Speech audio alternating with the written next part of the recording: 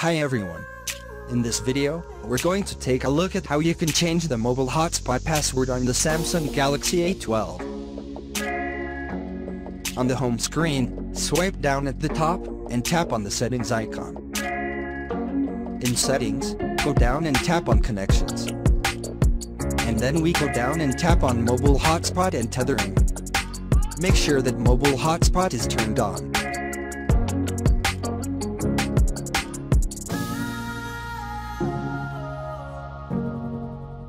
And in here tap on configure. Then tap on the password text field. Now you can put in your own password for the mobile hotspot.